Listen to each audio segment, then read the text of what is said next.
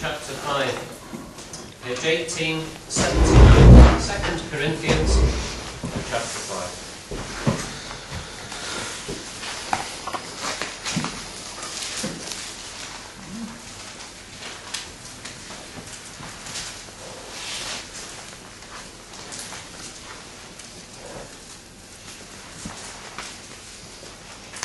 Reading from verse 1 says, For we know that if the earthly tent which is our house is torn down, we have a building from God. A house not made with hands, eternal in the heavens. For indeed, in this house we groan, longing to be clothed with our dwelling from heaven, inasmuch as we, having put it on, shall not be found naked. For indeed, while we are in this tent, we groan, being burdened, because we do not want to be unclothed, but to be clothed, in order that what is mortal may be swallowed up by life. Now he who prepared us for this very purpose is God, who gave to us the Spirit as a pledge. Therefore, being always of good courage, and knowing that while we are at home in the body, we are absent from the Lord, we walk by faith, not by sight. We are of good courage, I say, and prefer rather to be absent from the body and to be at home with the Lord. Therefore also, we have as our ambition, whether at home or absent, to be pleasing to Him. For we must all appear before the judgment seat of Christ, that each one may be recompensed for his deeds in the body, according to what he has done, whether good or bad.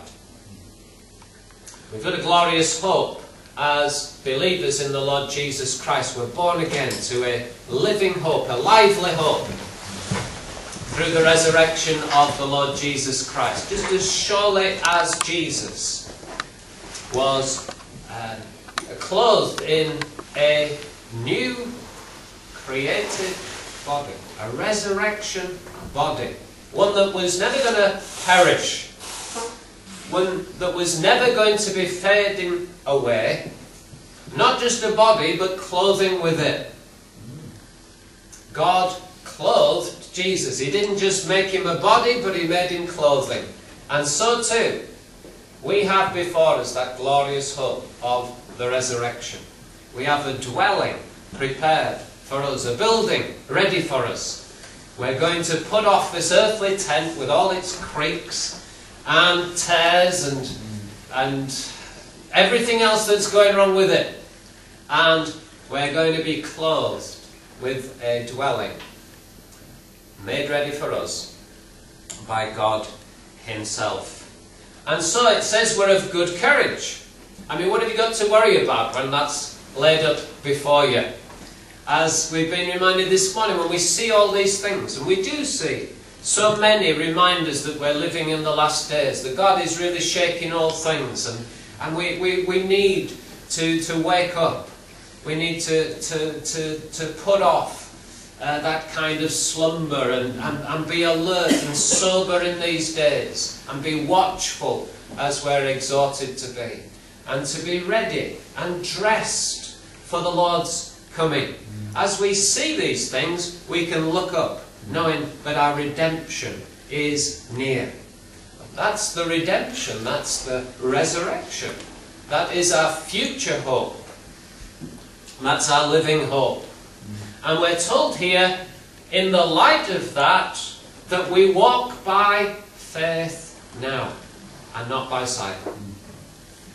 And I just want us to think a little bit this morning about what kind of faith we need to walk in. What kind of faith is that faith which saves us? Well, we're saved by God's grace, but through faith. And it's only faith, remember, that can please God.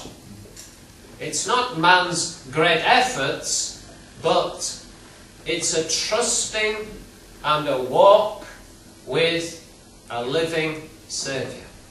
And I just want to look at one or two scriptures this morning by way of reminder to help stir us up as to what kind of faith is it that pleases God.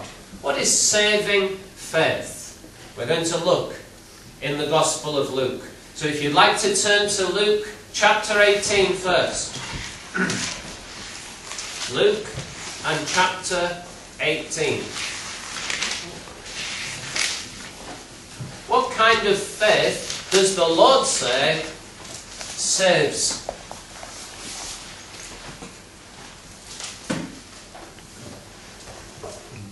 And here we have an example.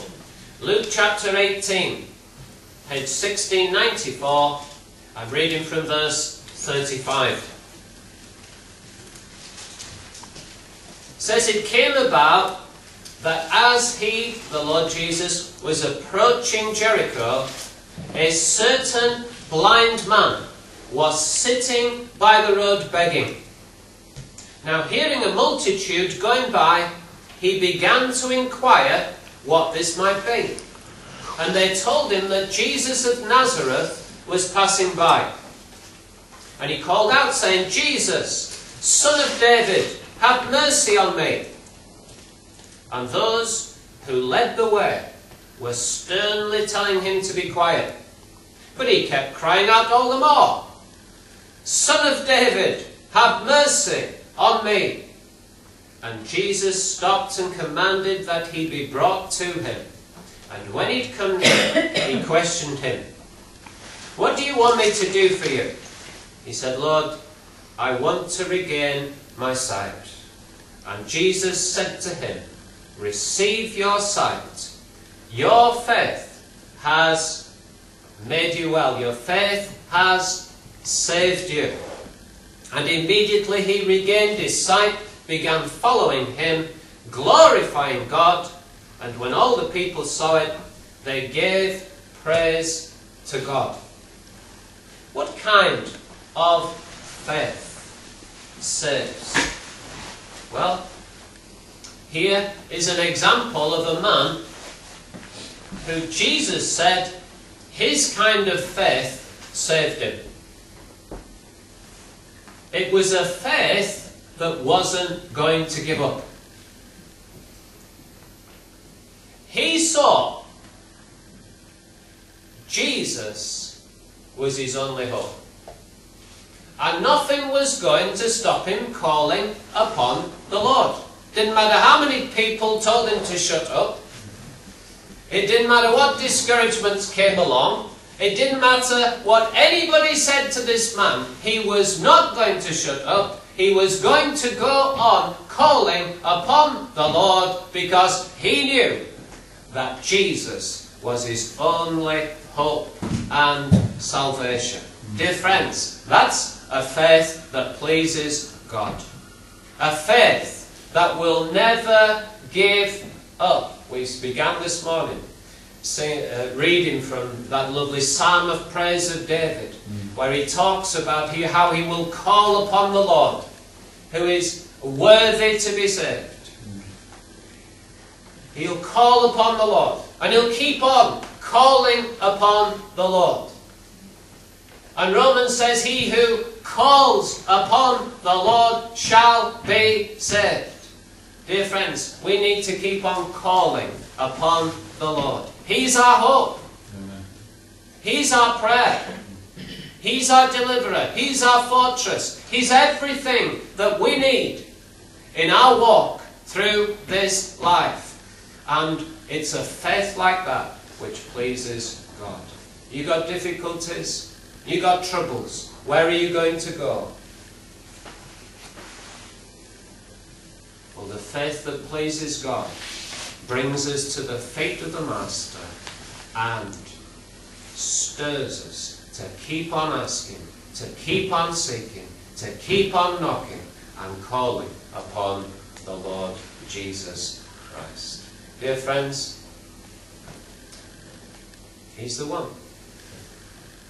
He's the one to call upon. Matthew chapter 15.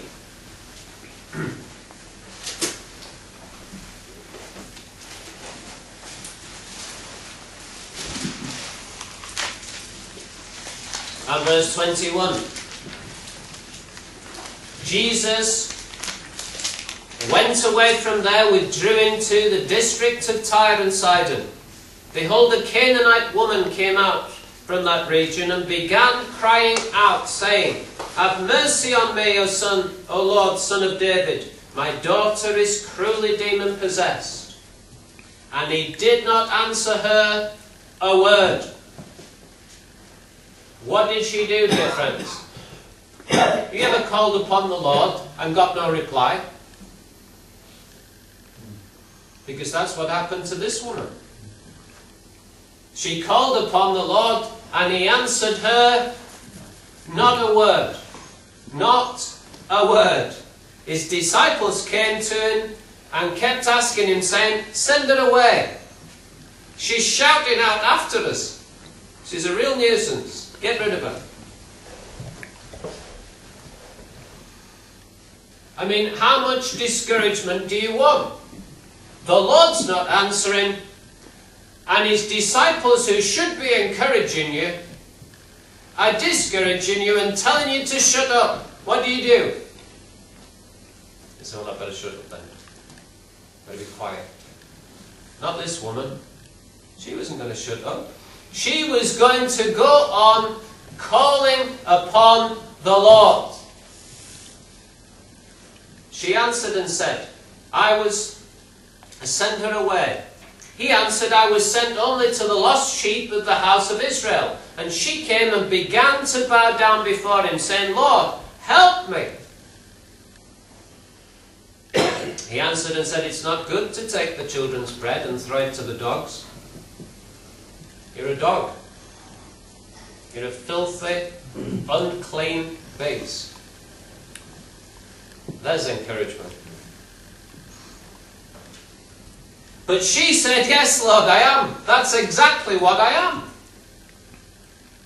But even the dogs feed on the crumbs which fall from the master's table. And Jesus answered and said to her, O woman, your faith is great. Dear friends, the second thing about faith which pleases God is a recognition of the filthiness of our sinful nature. Two men went up into the temple to pray one day. One was a Pharisee and he said, I'm glad I'm not as bad as other people. And then there was a tax gatherer who hardly dare lift his eyes up to heaven. He was beating his breast and saying, God be merciful to me, the sinner. What was he? In his eyes, dear friends, he was the sinner.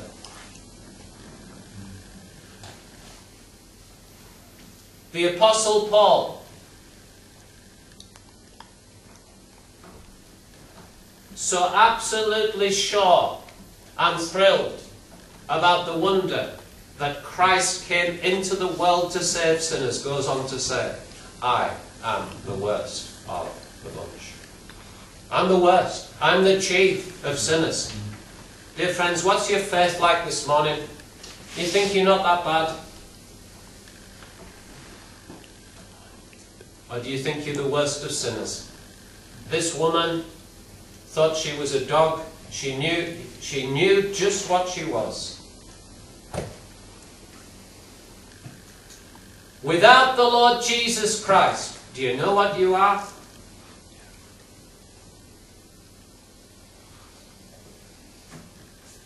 In that wonderful parable about the prodigal son, it says he was longing to fill his stomach with pig swill.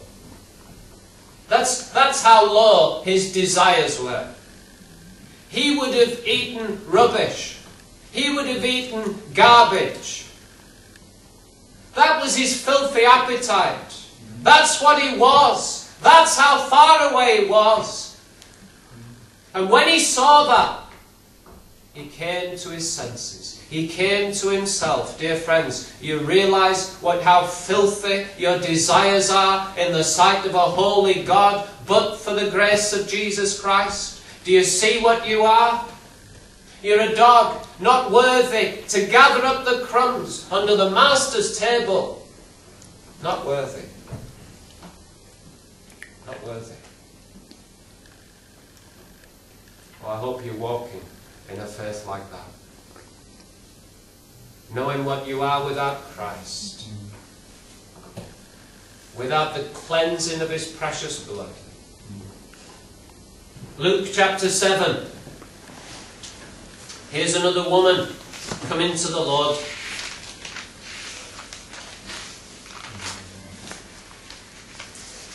And what was she? A sinner. Luke chapter 7, verse 36. Now one of the Pharisees was requesting him to dine with him. And he entered the Pharisee's house and reclined at the table. Behold, there was a woman in the city who was a sinner. That's what she was. And when she learned that he was reclining at the table in the Pharisee's house, she brought an alabaster vial of perfume, standing behind him at his feet, weeping. She began to wet his feet with her tears, kept wiping them with the hair of her head, kissing his feet, anointing them with the perfume. Now when the Pharisee who'd lifted, who'd invited him, saw this, he said to himself, if this man were a prophet, he'd know who and what sort of person this woman is who's touching him. She's a sinner. And Jesus answered and said to him, Simon, I have something to say to you. He replied, Say it, teacher. A certain moneylender had two debtors. One owed 500 denarii, and the other 50. When they were unable to repay, he graciously forgave them both. Which of them, therefore, will love him more? Simon answered and said, I suppose the one whom he forgave more. He said to him, You've judged correctly. Correct. Turning toward the woman, he said to Simon, Do you see this woman? I entered your house. You gave me no water for my feet, but she has wet my feet with her tears and wiped them with her hair. You gave me no kiss. She, since the time I came in, has not ceased to kiss my feet. You did not anoint my head with oil, but she anointed my feet with perfume. For this reason I say to you, her sins, which are many, have been forgiven, for she loved much. But he who is forgiven little loves little. And he said to her, Your sins have been forgiven. And those who were reclining at the table with him began to say to themselves, Who is this man who even forgives sins? And he said to the woman, Your faith has saved you. Go in peace. Dear friends, saving faith sees the depth and depravity of our sinful nature.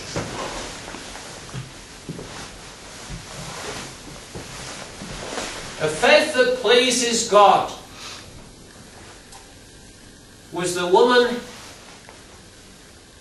on her face at the feet of the Lord Jesus Christ, knowing that her sins were many. She was filthy. And the Saviour was the only one who could cleanse her. The only one who could wash her. And she threw herself at the mercy of the Master. Have you got a faith like that? Do you realize just how filthy and unclean you were when you came to the Lord Jesus Christ? Well, you might have known it then. But dear friends, have you forgotten it?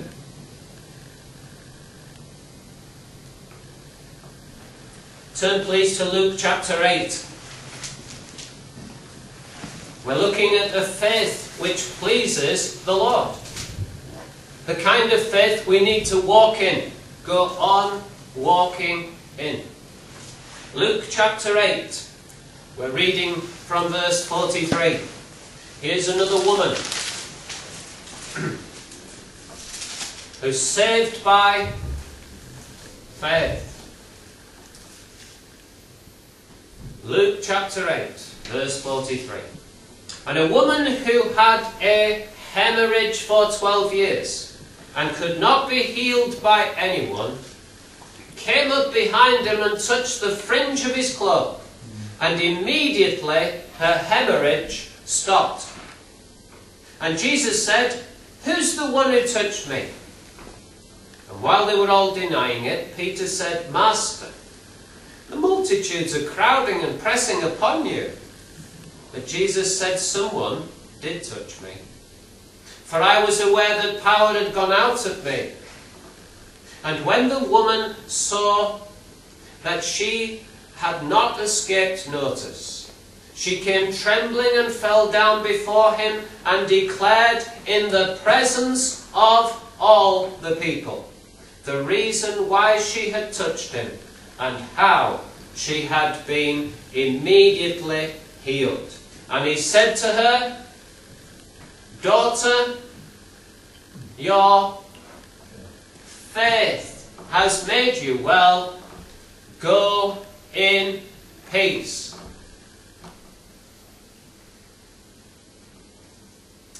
The Lord would not let this woman leave.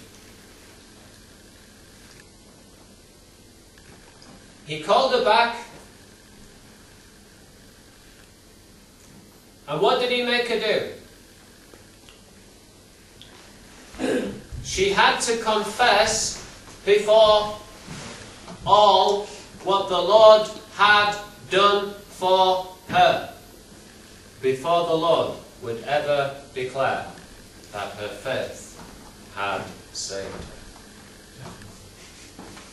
Saving faith, dear friends, confesses before all. If you confess with your mouth the Lordship of Jesus Christ, believe in your heart that He has raised Him from the dead, you shall be saved. Saving faith confesses Jesus before everybody. I hope you've got a faith like that. I hope you're still walking in a faith like that. Turn to Luke chapter 12.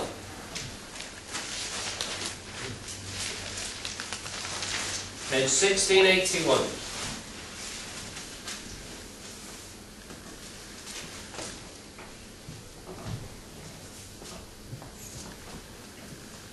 Jesus speaking to his disciples as he sends them out.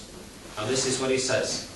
Verse 4 I say to you, my friends, do not be afraid of those who kill the body, and after that have no more that they can do. But I will warn you whom to fear. Fear the one who, after he is killed, has authority to cast into hell. Yes, I tell you, fear him. Are not five sparrows sold for two cents? And yet not one of them is forgotten before God. Indeed, the very hairs of your head are all numbered. Do not fear. You are of more value than many sparrows. And I say to you, everyone who confesses me before men, the Son of Man shall confess him also before the angels of God. But he who denies me before men shall be denied before the angels of God. Everyone who will speak a word against the Son of Man, it shall be forgiven him. But he who blasphemes against the Holy Spirit, it shall not be forgiven him. Our faith needs to be verbal. We need to confess before all. That's a faith that saves. That's a faith which pleases God. And without faith, it is impossible to please Him. Turn to Hebrews chapter 10.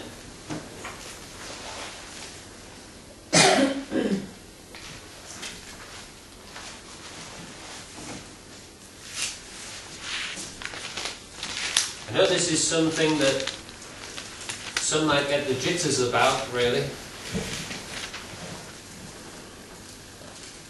But we're saved by faith. Yeah, but what kind of faith?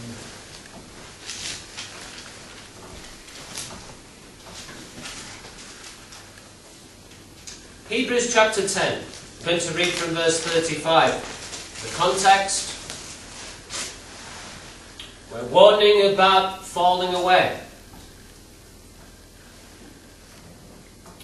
Jesus is the new and living way, and they are not to go back to the law and the, the ceremonial law. Jesus is the better way, the better sacrifice. Goes on to say, Therefore, do not throw away your confidence. The Greek word there, parrhesia. Free speaking, it means. That's what confidence is. Free speaking. Do not throw away your confidence, your free speaking, which has a great reward. He's reminding them, he's saying, Look, remember what happened when you were standing up for Jesus and everything. And you accepted when they, they took all your goods away, when they kicked you out of your houses and, and took all your possessions, you received it gladly.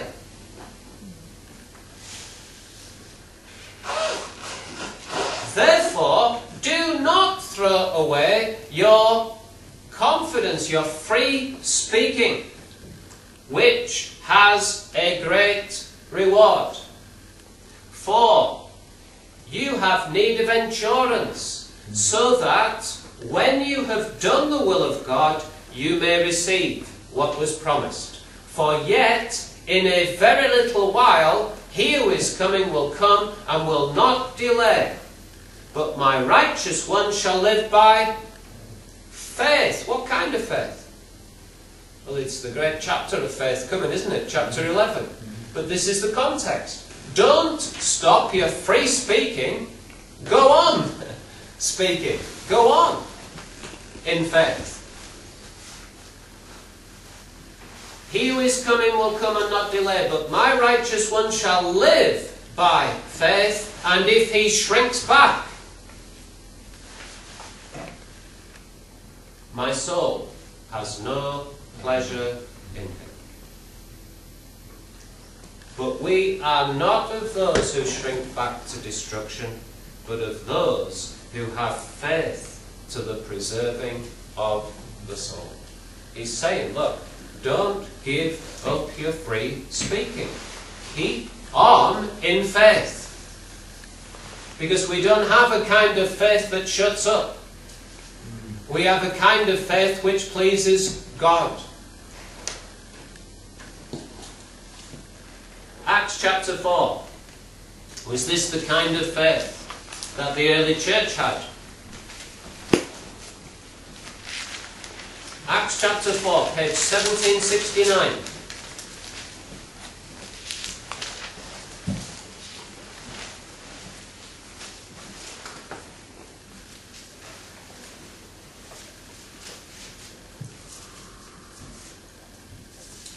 Peter has just told them that there's salvation in no one else. Verse 12.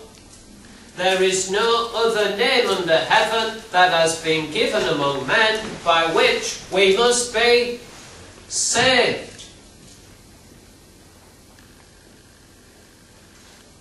Only the Lord Jesus. We must believe on the Lord Jesus. Does it matter what we believe about Jesus? Absolutely. Jesus said, Unless you believe that I am, you are dead in your sins. Can someone be saved not believing that Jesus is God? That He's the great I am? No. Unless you believe that I am, you're dead in your sins. You must believe that He is God and that He has finished that work on our behalf on Calvary's cross. Verse 13. Now, as they observed, what did they observe? The, the confidence of Peter and John and understood they were uneducated and untrained men, they were marvelling and began to recognize them as having been with Jesus. What did they see in these men? Confidence, parrhesia, free speaking. That's what they saw. They couldn't shut these people up. They were declaring salvation in the Lord Jesus Christ and in Him only. And they were amazed. Nobody had taught them this. This was the outworking of receiving the Holy Spirit. This is the outworking, dear friends, of being saved. They try and shut them up, so they hold a prayer meeting. We go on a little bit further in the chapter, we find them calling upon the Creator of heaven and earth. We know who He is, don't we? And this is what they're praying for. Verse 29. Now, Lord, take note of their threats. Lord, they're trying to shut us up. They're telling us they're going to do away with us if we keep on parrhesia, if we keep on free speaking in the name of the Lord Jesus Christ. If we keep on telling them that there's no other name by which men must be saved, they're going to lock us up. So now, Lord, take note of their threats, and grant that thy bondservants may speak thy word with all confidence, with parrhesia. Lord, we need the parrhesia. We need to keep on. We can't shut up. Dear friends, saving faith will never shut up. I hope you're walking in faith. Don't throw away your confidence. Why not? It has a great reward. Don't stop your free speaking. If somebody's managed to shut you up, you know what to do? Do what the early church did. Get on your knees and call upon the Lord and say, Lord, I need the parrhesia. I need the free speaking again. They're threatening us. They've done everything to try and shut us up. Lord, take note of their threats and grant that thy servant may Speak thy word with all parrhesia, with all confidence. I don't want to throw this away. I don't want to lose it. God forbid that I should ever shut up about the Lord Jesus Christ. I want to continue in a faith which pleases Him. Luke chapter 17. One more scripture. Saving faith. What is it?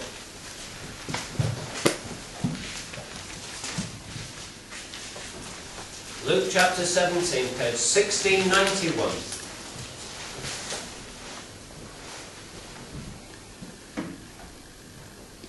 Saving faith never gives up, dear friends. Hmm. you say, oh, well, I believe that's it. No, no, no, no saving faith, the faith that pleases God, never gives up. You say, can I, can I show you that in the scriptures? Okay.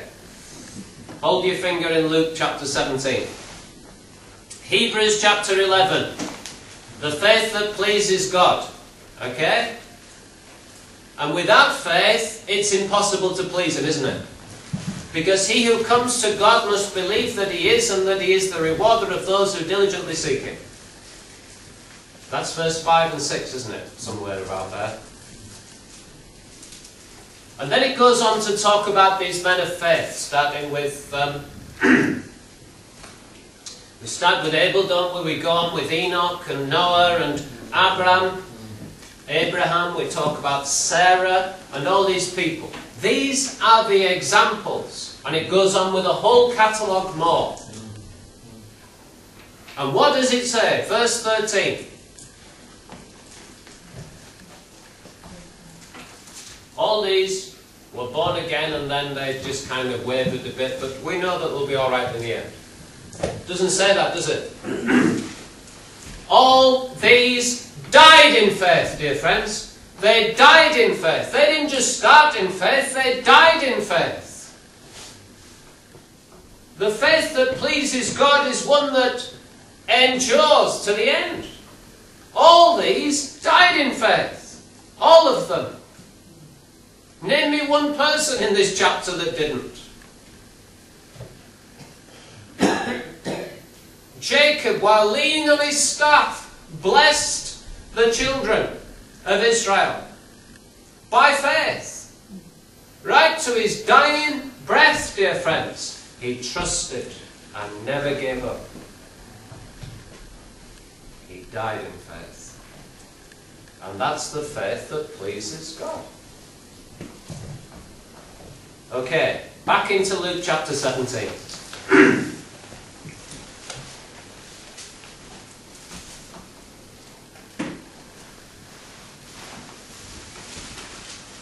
Reading from verse 12. As Jesus entered a certain village, ten leprous men who stood at a distance met him. They raised their voices, saying, Jesus, Master, have mercy on us.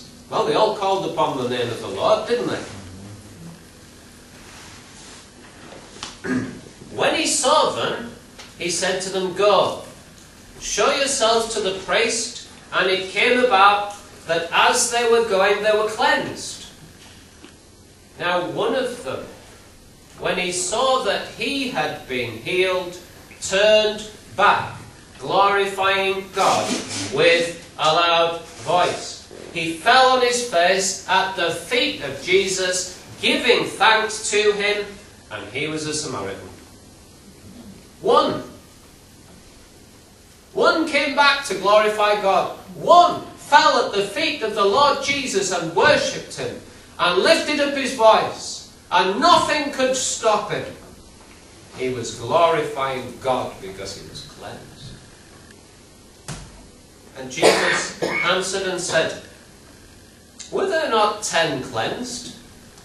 But the nine, where are they? Dear friends, Lots of people you think they're, they're being cleansed, but, but where are they? Where are they?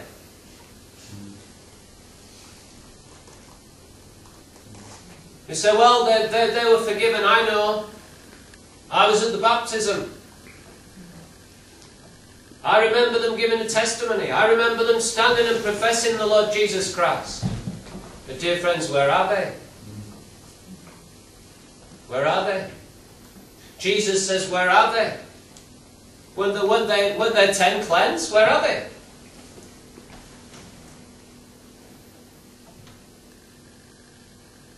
Where are the nine? Was no one found who turned back to give glory to God except this foreigner? Is there only one who's going to worship me for the rest of his life, no matter what? He said to him, Rise, go your way. Your faith has saved. Dear friends, saving faith is a life given in worship and glory to God. Are you walking by faith this morning? Are you living for the glory of God? Are you a worshipper? Jesus said the Father desires those who will worship in spirit and in truth. That's what the Father's looking for. Worshippers, not admirers, worshippers. Those who'll come again and again and fall at the feet of the Master, lift up their voices and give glory to God. Dear friends, we should be forcing our way through the door week by week. Because we've been walking by faith and in the congregation of God's people, we just want to come in and lift up our voices and give glory to the Master for what He's done for us. We should never lose the wonder of it that He's cleansed us and freed us from our sins. We should be worshippers, dear friends. Because true faith remembers the filthiness of sin and never loses sight of it. And true faith constantly marvels at the magnitude of God's grace. I hope you're walking in faith this morning. A faith that's never going to give up. A faith that's never going to shut up A faith that's going to bring you again and again and again in worship to the Master's feet. Because you know what you'd be without Him, and yet you know what you are in Him. Oh, what a wonderful and glorious salvation, dear friends. And without faith, it is impossible to please. It's what will please God this week, dear friends, that you have this kind of faith fixed upon the Master, the Lord Jesus Christ. Not just any man, the mediator, the one who is the great I am, fully man and fully God, who bled and died on Calvary's cross and paid the price for your sin, and it is finished. Glory to God. Glory to God. And with that glorious hope before us, we walk not by sight, but by. May God keep us in this kind of faith, dear friends, because it's a faith that glorifies God. Amen? Amen. Amen. Amen.